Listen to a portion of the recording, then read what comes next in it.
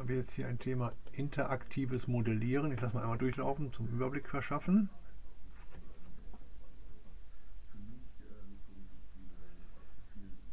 Die äh, aktuellste und modernste Methode in 3D-CAD-Systemen ist das interaktive Modellieren. Das heißt also im 3D-Fenster ähm, erzeugt man die Geometrie, als würde man zum Beispiel mit Lehm arbeiten oder so, also indem man die Geometrie mit der Maus quasi anfasst und bearbeitet. Ja, also jetzt zieht zum Beispiel einen, einen, einen Kreis auf und äh, drücken jetzt diese Trimex-Funktion und können dann das extrudieren mit äh, an der Maus hängender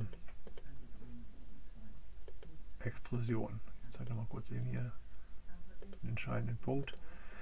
Jetzt hängt quasi die Extrusion an der Maus und je hoch, je höher äh, wir das ziehen oder je tiefer, desto äh, das ist dann halt die, die, das Ergebnis dieser Extrusion.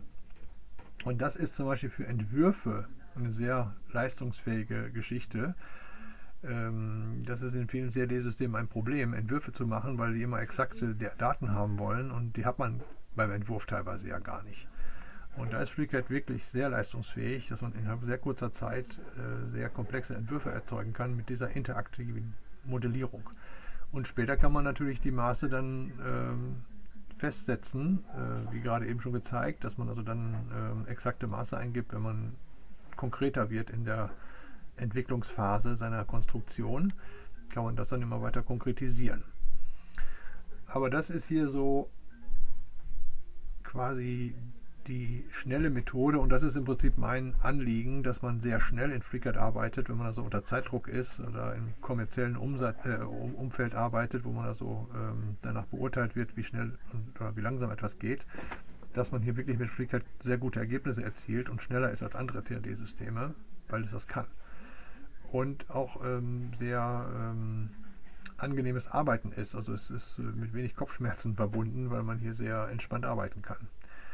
Und was im Forum oder im YouTube sonst so propagiert wird, ist eigentlich der ähm, Mainstream Workflow, ähm, auch der bei auch bei anderen CAD-Systemen eingesetzt wird, indem man 2D-Skizzen erzeugt und die parametrisiert durch äh, Einschränkungen und durch äh, eine bestimmte ein, eingeschränkte Skizze. Da ist man allerdings an, an 2D-Geometrie äh, limitiert und äh, hat im Prinzip immer doppelte Arbeit, äh, auch wenn man erstmal im Entwurf sich befindet und so weiter. Das äh, habe ich ein paar tausend Stunden lang probiert und ähm, habe das dann dran gegeben. Ähm, ich benutze diesen Sketcher halt auch für Kinematik und für spezielle Aufgaben, für tangentiale Sachen oder so. Aber der Rest ist hier viel schneller und viel intuitiver und ähm, moderner, weil diese, diese Methode hier, dieses interaktive modellieren. Das ist die neueste Methode, die auch bei ähm, NX und bei äh, SketchUp und so weiter heißt es Push-Pull zum Beispiel.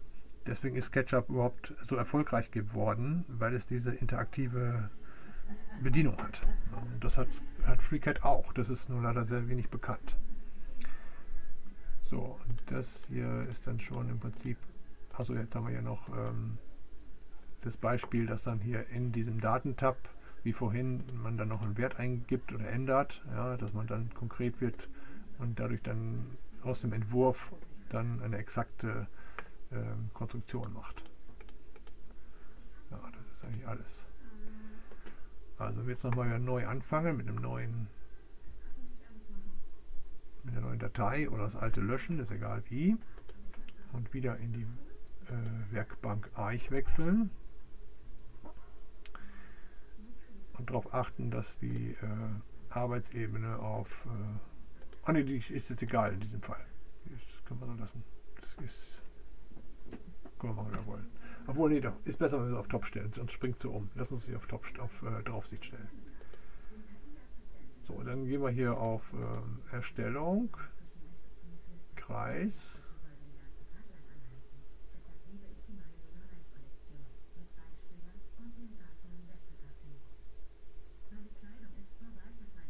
Und können jetzt ohne eine Fangfunktion ganz frei irgendwo hier äh, den Kreis beginnen. Klick, linke Taste, aufziehen und äh, irgendwo hinklicken, um den Kreis zu öffnen. Auch hier könnte man, wenn man wollte, hier jetzt den Radius äh, eingeben per Tastatur. Also beides möglich. Aber erstmal hier so freihand, Freestyle, äh, entwurfsmäßig irgendwo hinklicken. Und dann haben wir hier einen Kreis. Wenn bei irgendjemandem dieses Häkchen fehlt, durch vorherige Versuche, die man gemacht hat oder so, kann das sein, dann das bitte wieder setzen.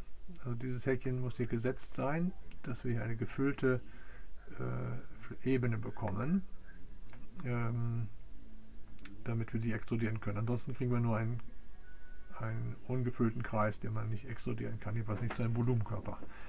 Kurz zur Begrifflichkeit, wenn bei CAD von einer Ebene gesprochen wird, dann ist es irgendwas Flaches, so wie hier. Wenn von einer Fläche gesprochen wird, dann ist es irgendwas in der Regel etwas Geformtes, wie zum Beispiel ein Autokotflügel oder ähm, meinetwegen ähm, die Außenhülle von einem Fußball, ähm, die also eine Freiformfläche sein kann, die also geformt ist.